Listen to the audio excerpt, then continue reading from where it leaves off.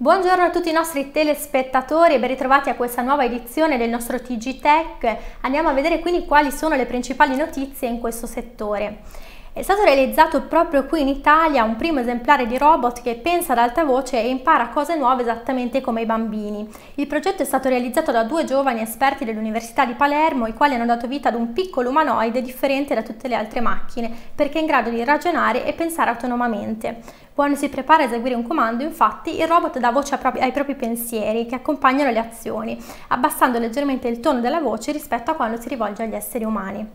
In Cina invece i ricercatori cinesi hanno proprio scoperto un nuovo meccanismo per sviluppare dispositivi di memoria non volatile ad altissima velocità. Sono basate su eterostrutture di Van der Waals con interfacce atomicamente nitide tra diversi elementi funzionali, con un valore di estinzione fino a 10 miliardi. Tali dispositivi di memoria sono in grado di compiere operazioni di lettura e scrittura nell'ordine di 20 nanosecondi e di conservare i dati per almeno 10 anni, mentre gli attuali in commercio lo fanno per 100.000 nanosecondi. Eterostrutture di Van der Waals sono costituite da diversi materiali stratificati impilati e possono essere impiegati in campi di ricerca che vanno dalla scienza dei materiali all'elettrochimica. L'intelligenza artificiale invece spinge sempre di più per l'accessibilità nei social network. Instagram, Facebook, Microsoft e Zoom sono sempre più accessibili, infatti grazie all'intelligenza artificiale che consente di adattare le piattaforme alle necessità degli utenti con varie disabilità favorendone quindi l'inclusione eh, dopo che si si è dimostrato necessario a causa di smart working e didattica a, distanza.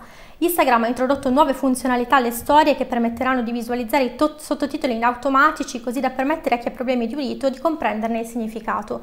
Facebook invece decide di utilizzare l'intelligenza artificiale per creare descrizioni per le foto eh, per persone non vedenti e ipovedenti attraverso un testo alternativo automatico.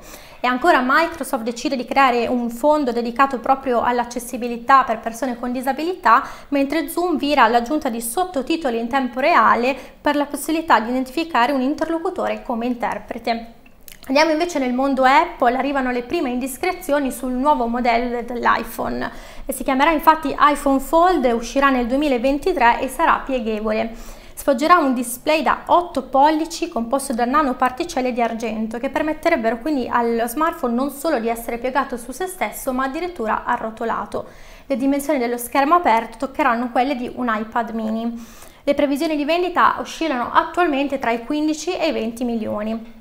Novità anche per il nuovo Apple Watch, attraverso un accordo con la startup inglese MacRumors, la Apple potrebbe lanciare infatti sul mercato un nuovo Apple Watch in grado di monitorare i parametri vitali come la pressione del sangue, i livelli di glucosio e persino il tasso alcolemico.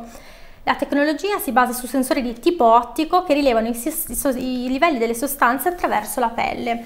Il prodotto dovrebbe arrivare già dal prossimo anno con la nuova serie 8 degli Apple Watch.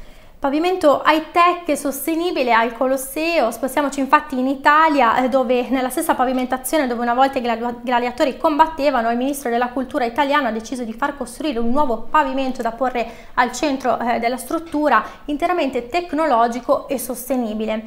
Il progetto è quello di utilizzare le sofisticate tecnologie moderne per preservare e allo stesso tempo valorizzare ogni piccola parte del sito archeologico. Il piano sarà in realtà composto da pannelli mobili e in fibra di carbono, mentre sul fronte della sostenibilità il progetto prevede che non si utilizzi alcun tipo di materiale da costruzione pregiato e che si raccolga e ricicli l'acqua piovana.